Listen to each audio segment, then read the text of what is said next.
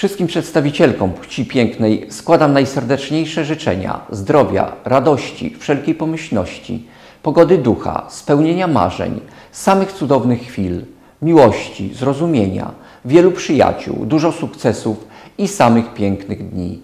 Abyście zawsze z nadzieją patrzyły w przyszłość. Życzę, by uśmiech rozpromieniał Wasze twarze i aby każdy kolejny dzień był dniem kobiet.